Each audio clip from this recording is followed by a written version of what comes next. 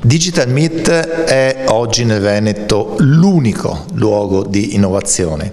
nel senso che è stato negli anni riconosciuto da chi fa innovazione